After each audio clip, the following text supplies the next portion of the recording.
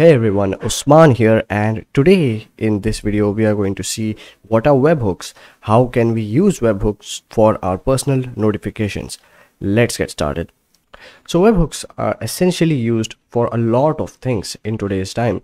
Webhooks are used for sending automated messages, for sending notifications on Discord or other applications. Every application, almost every application has webhooks for their use case. Now in this video we are going to see a demo for Discord webhooks and why specifically Discord because they are quite easy to work with especially for beginners.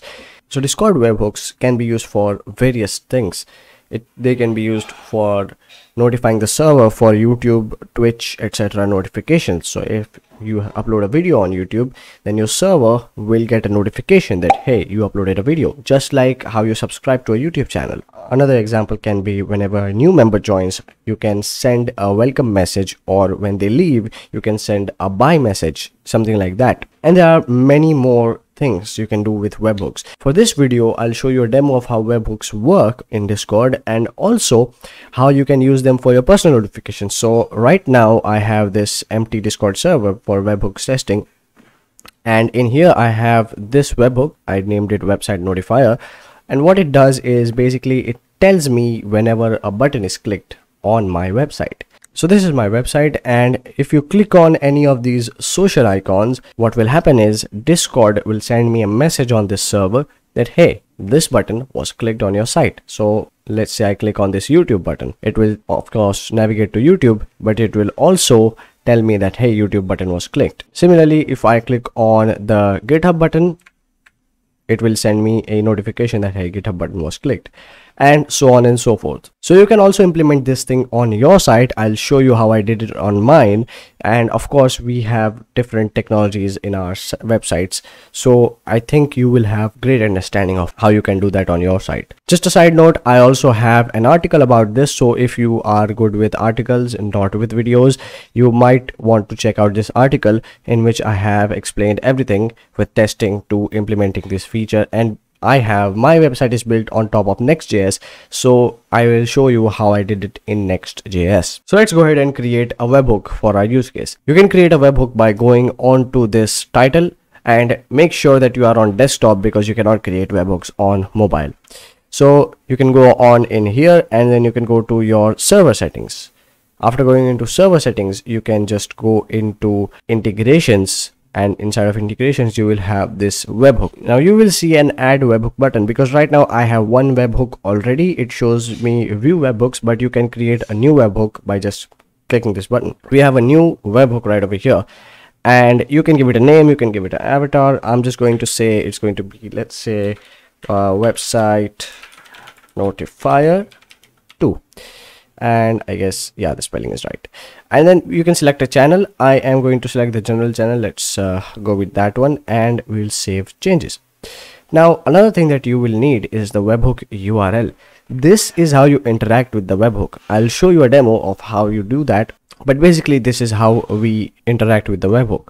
This is how you can send messages through the webhook so just copy this url and save it somewhere because you will need it later on. You can also come back and copy it if you want. And make sure that this url is secret because this with this url anyone can send messages to your discord server.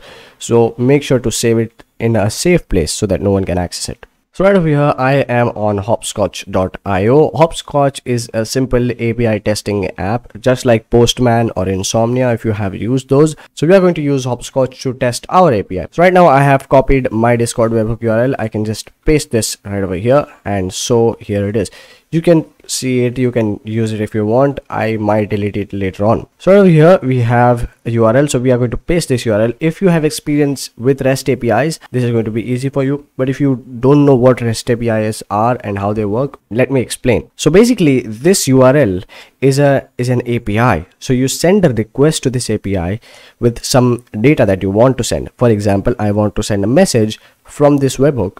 So i will enter the webhook url and then i will select instead of get i want to select the post request. I can go inside of the body and right now so you can pass in some data. So i'll just select json data that i want to pass. Json is basically javascript object notation. So you can write an object or an array or anything you want javascript right? And then inside of here you can pass in content. And the content can be any message you want. It can be an attachment. It can be a normal text message. So i'll just say a normal text message right? And make sure selecting a post request selecting body and then inside body you can select json and then and then you can pass in the content which will be a normal text message. So now what happens when you hit send when you hit send it will basically return back to you a status of 204 no content. Okay fine because nothing gets returned but if you look back into your discord server you will find that this bot right over here sent a normal text message. That's what we wrote inside of content right? So right over here i showed you how you can send a message but you can also alter the username for that webhook. So if i just go ahead and add a comma and then if i say username you can change the username to let's say buggy whatever. And this username will be used for that webhook to send the message now. So if i hit send going back you see that was website notify 2 and now it's buggy. So you can do lots of things with webhooks. This it's not just to send messages. You can find a lot more details on this page by birdie0.github.io i'll leave this link in the description below. You can check out lots of things you can do like sending embeds sending images send uh, setting thumbnails and so on and so forth with examples of well youtube uh, twitter twitch whatever right? You can check out this website. I'll put this link in the description below. It will be very helpful to you. So now we know how do we send messages to our discord server using this webhooks url and that's it for testing the webhook. Now comes the real part. How do you add a feature so that whenever someone clicks on your website and the webhook notifies you that hey that button was clicked? So i'll open my article right over here. And in the article in this adding the feature section i show you you have an asynchronous function uh, send discord message function. You can name it whatever you want. And then what we do in here is we use the fetch request. So inside of fetch you can simply pass in the discord webhook url that you want to send a request to. You can set the method to post. You can set the body to the content as we did before as we did right over here in hoppscotch. You can set the content and you can set the content to whatever name button was clicked. And then you can set the headers to application json that we did right over here. You can also do this easily with the help of axios if you know what that is. But right over here i made this simple for everyone to understand. So just send a request to this discord webhook url and make sure to make this secret. Now when it comes to how i did this in my website i basically had this next.js project. And don't worry if you don't understand it. You don't have to understand it.